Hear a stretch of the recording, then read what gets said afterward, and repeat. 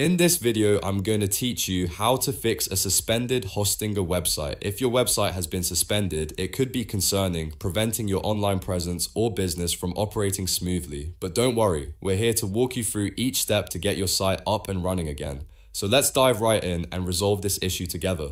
First, we'll want to check for any ongoing outages. Begin by looking at Hostinger's status page. This page will show whether there's a broader service incident affecting multiple sites or if the issue is specific to your website. If there's a system-wide problem, there's little you can do, but wait for Hostinger to resolve it. Once you've ruled out broader issues, the next step is to sign in to your H-panel. When you log in, head over to the website section. Here, you'll be looking for any warning messages. If your hosting plan is suspended, a clear warning will appear, and your site will not display on your homepage. Understanding where exactly the problem lies within HPanel can guide us to the next actions needed. Now, let's identify why your website is suspended. Generally, Hostinger imposes suspensions when there's a detected violation of their terms of service. It might be helpful here to take a moment and review Hostinger's terms of service on their website to understand what might have gone wrong. Perhaps it was excessive resource usage or some overlooked policy.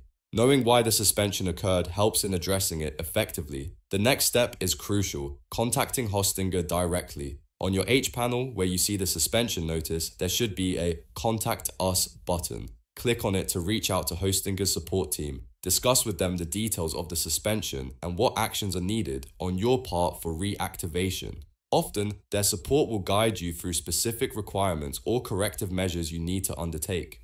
This direct communication is essential as support can provide tailored advice and potentially fast track your website's reactivation once any issues are addressed. Once you've reached a resolution or have fulfilled the instructions given by Hostinger's support team, your website should eventually be reinstated. And there you have it, a step-by-step -step guide to tackling a suspended Hostinger website.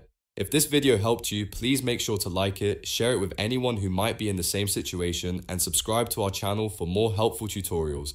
Thanks for watching and good luck getting your website back online.